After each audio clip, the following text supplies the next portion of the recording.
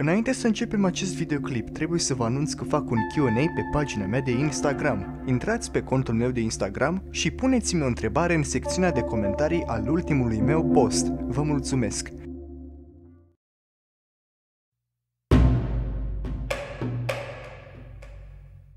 Acum aproximativ 160 de milioane de ani în urmă, în etapa oxfordiană a Jurasicului târziu, în ce este acum formațiunea geologică Shishugo din China, dinozaurii erau organismele dominante. În această zonă, erbivorele uriașe, precum Mamenchisaurus, se foloseau de gâturile excepțional de lungi să ajungă la sursa lor principală de hrană din crestele înalte ale copacilor. Acești uriași, sau cel puțin indivizii imaturi sau slăbiți ai acestor ziși uriași, cu puțin ghinion, ajungeau pradă pentru Sin Raptor, prădătorul de top al regiunii, care, în ciuda numelui, este de fapt parte din încrengătura alozauroidelor, carnivore mari, specifice perioadei jurasice. În umbra acestor uriași exista un erbivor de talie mică, ce se folosea de camuflaj să scape de diverse amenințări. Acest zispitic, cunoscut și sub numele Yin Long, se întâmplă să fie cel mai timpuriu membru al familiei Ceratopsia, subiectul videoclipului de astăzi. Ceratopsienii sunt o încrengătură extrem de diversă de dinozauri erbivori, ce au apărut acum aproximativ 160 de milioane de ani în urmă, în etapa oxfordiană a Jurasicului, și au prosperat până la sfârșitul etapei maastrichtiene a Cretacicului, acum aproximativ 66 de milioane de ani în urmă. Făcând parte din încrengătura mai mare marginocefalia, cele mai apropiate rude ale ceratopsienilor sunt pachicefalozauridele. Nu se știe cu exactitate ce organisme au dat vlagă acestor erbivore, o teorie spunând că ceratopsienii sunt de fapt o ramură specializată de heterodontozauride, o încrengătură de erbivore de talie mică ce a prosperat de-a lungul Jurasicului, caracterizați de către caninii mari ce dețineau. Atât ceratopsienii cât și heterodontozaurii prezintă articulații ale fălcilor destul de rigide, ce nu permițeau acestor animale să-și miște fălcile în lateral pentru a putea amesteca. Această structură a mandibulei este întâlnită și la porcii contemporani, ceea ce indică faptul că ocazional atât heterodontozaurii cât și ceratopsienii se mai delectau și cu hrană de origine animală, aceste practici neortodoxe fiind probabil mai frecvente în indivizii maturi, în nevoie de proteine pentru o creștere accelerată. În orice caz, știm că ultimii membri ai heterodontozauridelor, precum Tianyolong, au trăit în Asia în Jurasicul târziu, deci nu este neapărat improbabil ca o populație izolată de heterodontozauride să evolueze în mod independent pentru a se adapta la un zis nou mediu. Ceratopsienii timpurii erau animale bipede, extrem de diferite de suratele lor mai specializate. Podoabele lor capilare încă nu erau pronunțate, dar erau prezente și cel mai probabil folosite în confruntările intraspecifice sau între doi indivizi ai speciei. Aceste zise podoabe însă nu erau arme eficiente împotriva carnivorelor, ascunsul în desișul pădurilor fiind singurul mod prin care aceste animale puteau evita să devină cina unui carnivor de talie mică. Dintre acești ziși pitici, cel mai bine cunoscut și studiat este Psittacosaurus. La 1,7 metri lungime și 65 de kilograme greutate, Psittacosaurus este de fapt unul dintre cei mai mari ziși ceratopsieni timpurii. Un specimen dezgropat de psittacosaur este extrem de bine conservat, fiind vizibilă și amprenta țesutului moale, Specimenul este într-o stare atât de bună încât savanții au reușit să identifice culorile acestui animal când era viu. Pentru a se ascunde cu ușurință în desișul pădurilor asiatice, Psittacosaurus prezenta un spate de nuanțe maronie închisă, ce se preschimba într-un portocaliu șters la nivelul ventral. Acest model este întâlnit în majoritatea animalelor moderne, cel mai bun exemplu fiind caracalul, despre care am vorbit într-un clip anterior. Capul animalului era de culoare închisă, probabil o trăsătură pentru etalare suficient de subtilă să păstreze animalul ascuns în desișul pădurilor asiatice. Pe lângă asta, la nivelul anterior al cozii, animalul prezintă un set de filamente ce imitau foliajul din mediul său. Puțin din comportamentul acestor animale fu de asemenea conservat la nivel fosil. 24 de pui de Psittacosaurus fură dezgropați împreună cu un individ mai bătrân, ce se dovedește a nu fi atins vârsta necesară pentru a se înmulți. Această fosilă remarcabilă ne arată că puii acestor animale stăteau în grija fraților lor mai mari, un comportament întâlnit de asemenea la gaițele albastre din prezent. Undeva în etapa aptiană a Cretacicului mijlociu, între acum 125 și 113 milioane de ani în urmă, se formează un lanț de teren ce traversează Oceanul Pacific din Asia până în America de Nord, lucru ce permite animalelor asiatice să străbată teritoriul american și viceversa. Printre acestea, și ceratopsienii timpurii reușesc să colonizeze noul teritoriu.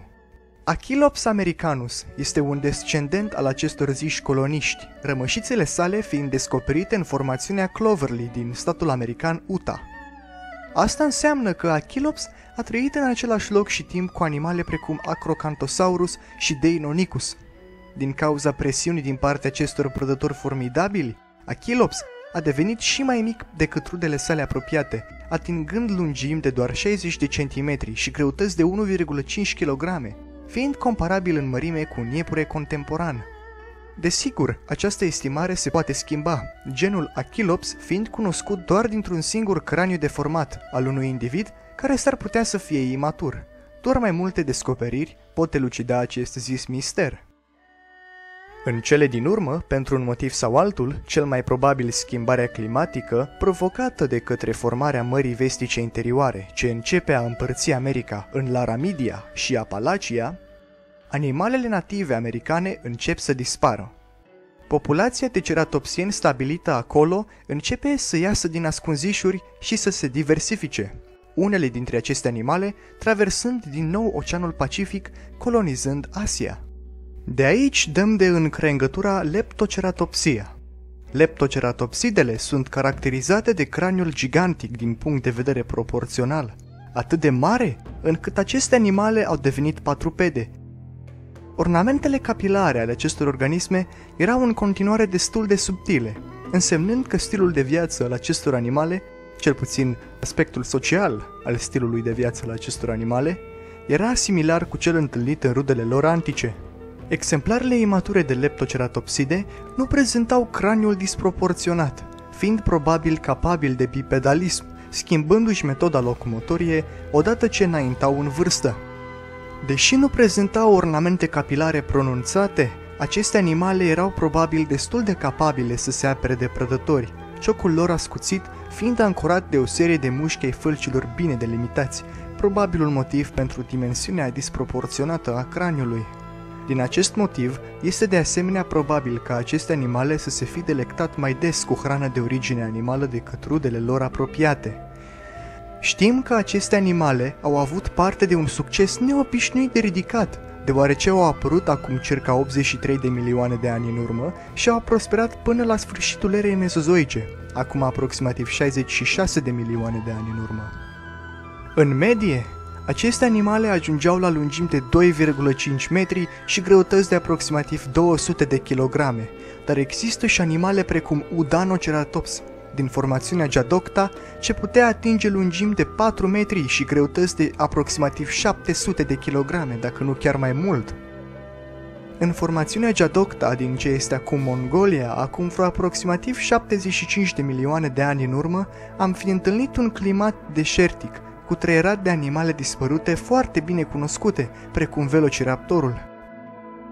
Acest zis vânător este de asemenea cunoscut din rămășițe bine conservate, cel mai faimos specimen descoperit fiind încleștat cu un animal înrudit cu Udanoceratops, și anume Protoceratops.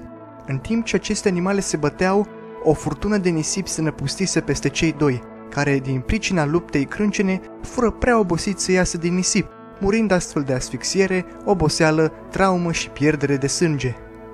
Zisele animale au murit încleștate. Velociraptorul are ghearele de la picior înfipte în gâtul protoceratopsului, care la rândul său are ciocul încleștat de brațul drept al carnivorului, mușcând cu suficientă forță să rupă membrul. Doar din cauza protoceratopsului și recordului său fosil extrem de bine conservat, cunoaștem atât de multe amănunte despre leptoceratopside, un lucru chiar ironic, având în vedere că protoceratops nu face parte din zisa încrengătură taxonomică. Protoceratops face parte din încrengătura Coronozauria, fiind un membru bazal. Coronozauria sunt denumiți așa după ornamentul capilar bine delimitat. Aici întâlnim și ceratopsienii dezvoltați, despre care vorbim mai târziu. Este probabil faptul că traiul în grup a delimitat o presiune selectivă înspre ornamentele mai complexe ce erau probabil folosite în conflicte intraspecifice, adică între indivizi din aceeași specie. Putem observa că la nivel fiziologic, coronozaurii timpurii erau destul de asemănători cu leptoceratopsidele, dezvoltându-se în mod drastic abia mai târziu.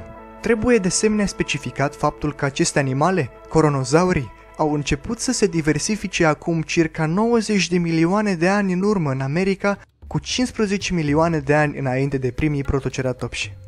Pe atunci existau deja animale ca Zuniceratops, ce deja prezentau o pereche de coarne ce serveau probabil atât în confruntări intraspecifice cât și în apărare împotriva prădătorilor, carnivorile mici ale regiunii, care din pricina lipsei de competiție au început de asemenea să se diversifice. În mod evident, este vorba de tiranozauroide. Deși cele două grupuri de organisme, tiranozauridele și ceratopsienii, au coexistat până acum, abia în cazul taxonilor Zuniceratops și Suschitiranus și rudelor lor apropiate, începe a se dezvolta o relație pradă-prădător, în care are locul o cursă de arme evoluționară între erbivor și carnivor. Nu se știe cu exactitate de ce tiranozauroidele au devenit atât de specializați în a vâna coronozaurii, dar este probabil că erau mai ușor de găsit decât rudele lor discrete și că traiul în grup putea fi exploatat împotriva lor într-un fel sau altul. Coronozaurii încep astfel să se diversifice, crescând și dezvoltându-și podoabele capilare. Astfel, două mari încrengături de coronozauri se formează, centrozaurinele și casmozaurinele, care domină peisajul laramidiei campaniene, între acum 80 și 70 de milioane de ani în urmă. Centrozaurinele, caracterizate de podoabe capilare mai elaborate, erau probabil mai des întâlniți, cu mai mulți taxoni într-o singură regiune. Putem astfel să explicăm și diversitatea ornamentelor capilare ale acestor organisme. Pentru a se recunoaște între ele, animalele încep a-și dezvolta trăsături unice și elaborate, factor întâlnit și în păsările paradisului din prezent. Aceste zise trăsături își căpătau natura exagerată foarte târziu în creșterea acestor organisme, însemnând că aceste zise structuri serveau mai mult în etalare și confruntări intraspecifice. Lipsa patologiilor, rănilor și deformărilor la nivelul capilar ne arată că aceste animale nu se luptau cum se luptă rinocerii din zilele noastre. Sunt în schimb prezente patologii pe flancurile animalelor, ce se crede că au fost făcute de alți membri ai speciei, însemnând că luptele intraspecifice ale centrozaurinelor nu erau tratate cu capul înainte, ci într-o oarecare măsură cu flancurile înainte. În orice caz, din pricina diversificării acestor animale, se formează trei mari încrengături diferite de centrozaurine. Cei mai mici dintre centrozaurine sunt Nasutoceratopsinii, precum Avaceratops și Nasutoceratops, care sunt caracterizați de nasurile voluminoase, coroanele relativ reduse și perechea de coarne uriașe de deasupra ochilor. Fosilele acestor animale sunt de asemenea cel mai des întâlnite în sudul Laramidiei, dar asta nu înseamnă neapărat că nasutoceratopsinii nu puteau fi întâlniți și mai la nord. Centrozaurinii precum Styracosaurus și Centrosaurus sunt caracterizați de coarnele uriașe întâlnite atât la nivelul nasului cât și la nivelul coroanelor, a căror formă și direcție se dovedesc a avea o distribuție unică între indivizi. Aceste animale sunt și singurii ceratopsieni avansați care să ajungă pe teritoriul Asiei, sub forma lui Sinoceratops. Nu este însă cert dacă acest organism a supraviețuit până la sfârșitul erei mesozoice. La pachirinozaurini, precum Einiosaurus și Pachyrhinosaurus, întâlnim o tranziție de la coarnele nazale specifice centrozaurilor la o masă osoasă bine delimitată. Pachyrhinozaurinii sunt de asemenea și singurii centrozauri ce supraviețuiesc până la sfârșitul mezozoicului, prosperând în nordul polar al Laramidiei, în timp ce rudele lor sudice au dispărut din pricina schimbărilor climatice și inundațiilor. Pentru a tolera climatul imprevizibil al nordului, pachirinozaurinii cresc în dimensiune pentru a reține mai multă căldură, devenind astfel cei mai mari dintre centrozaurine. Casmozaurinele, caracterizate de crestele mari și setului de coarne capilare ce obișnuiește să vină în pachet de trei, două deasupra ochilor și unul pe nas, trăiau probabil în grupuri mai restrânse. Aceste animale prezintă patologii la nivelul craniilor, ce sugerează că în confruntări intraspecifice se lupteau aiduma rinocerilor contemporani. Toracele lor voluminos era o adaptare înspre aceste tipuri de confruntări, făcându-i probabil mai stabili în timpul ziselor dispute. Inundațiile din Campanian, care au nimicit mare parte din centrozaurine, nu a afectat casmozaurinele atât de mult. În urma ziselor cataclisme, populația originală a acestor animale împărțindu-se în două. Cele două populații încep astfel a evolua independent una de cealaltă. Casmozaurinele nordice, precum Casmosaurus, au început să-și dezvolte structuri foarte curioase, coarnele de la nivelul coroanei, denumite și epoccipitale, mai ales cele din vârf, încovoindu-se în jos, precum în Cosmoceratops. Nu este cert însă dacă aceste animale au supraviețuit până la sfârșitul mezozoicului, deoarece recordul lor fosil nu continuă din Campanian în Maastrichtian. Casmozaurinele sudice, precum Pentaceratops, încep a-și fortifica ornamentele capilare, rezultând în animale precum Anchiceratops. Din această cauză, este posibil ca presiunea prădătorilor din sudul Aramidiei să fi fost mai mare. Se crede de asemenea că aceste animale sunt strămoși direcți ai uriașilor din Maastrichtian, precum Torosaurus și Triceratops. La sfârșitul etapei campaniene, Marea Vestică interioară seacă, reunind la Ramidia și Apalacia și formând America de Nord pe care o cunoaștem astăzi.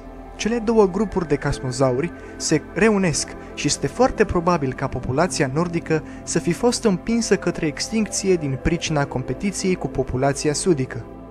De aici încolo întâlnim animale precum Torosaurus, ce prezintă un craniu de 3 metri lungime, cel mai lung craniu întâlnit vreodată la un tetrapod terestru. Și Triceratops, a căror coroană, deși era mai mică, era mai fortificat. Găurile coroanei prin care circulă vase de sânge, esențiale pentru etalare, fiind absente. Inițial, această zisă lipsă de găuri, denumite și fenestre parietale, au făcut oamenii de știință să creadă că Torosaurus era de fapt un triceratops adult, iar descoperirea unui specimen imatur de Torosaurus neagă această zisă teorie. Triceratopsul se dovedește a fi unul dintre cele mai comune erbivore din regiune, cel puțin asta ne arată recordul fosil, însemnând că aceste animale aveau parte de un succes imbatabil în America de Nord. Un factor ce a ajutat aceste animale să prospere în halul ăsta este probabil eficiența lor în a face față atacurilor din partea prădătorului de top al regiunii, Tyrannosaurus, confruntarea dintre cei doi uriași fiind una de proporții biblice. Deși în medie un triceratops nu întrecea un tiranozaur în mărime, exemplarele cu adevărat uriașe ale acestui gen de herbivor întreceau în mărime și pe cei mai mari dintre tiranozauri. Dacă un T-Rex ar fi atacat un triceratops matur din față, nu s-ar fi sfârșit bine pentru uriașul carnivor. Fiind în interesul său să evite să fie tras în țeapă, carnivorul și-ar fi ambuscat victima, ce de obicei lua forma unui exemplar tânăr sau rănit. Pe lângă coarnele uriașe, Triceratops prezintă și unul dintre cele mai încovoiate ciocuri, ceea ce sugerează că acest animal își suplimenta dieta cu carne mult mai des decât rudele sale apropiate. Sunt două specii de Triceratops cunoscute, T. horidus din Maastrichtianul timpuriu și T. prorsus din Maastrichtianul târziu. Diferențele dintre aceste animale sunt subtile, cele mai mari fiind la nivelul craniului, prorsus având un corn nazal mai mare. Au de asemenea coarnele de deasupra ochilor mai scurte, dar aceste structuri erau acoperite de cheratină când animalul era viu. Probabil că zisul miezosos era mai scurt pentru a facilita creșterea accelerată a ziselor podoabe capilare. În cele din urmă, extincția de la sfârșitul erei mesozoice pune capăt încrengăturii redutabile a ceratopsienilor, împreună cu nenumărate alte ramuri taxonomice redutabile. Chiar și așa, rămășițele fosile ale acestor organisme dispărute ne oferă un capitol al poveștii istoriei vieții pe pământ ce ne arată că în circunstanțele potrivite cele mai mici organisme pot deveni atât cele mai mari cât și cele mai de succes într-un clipit geologic. Și cu asta jupânii mei se încheie videoclipul de azi. De vă plăcut, dați frumos acolo o pomană like și de doriți să mă urmăriți conținut despre istorie naturală în viitor, puteți să vă abonați și să apăsați clopoțelul. Eu am Tulito.